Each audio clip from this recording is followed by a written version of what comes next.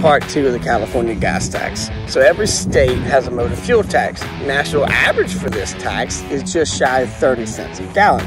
Tell them what it is in California. 67 cents. The highest of all states. Only California has a carbon cap and trade. Basically, California needs money from its highway drivers to regulate greenhouse gases created by who? The oil refineries. This is one of the business taxes we're talking about.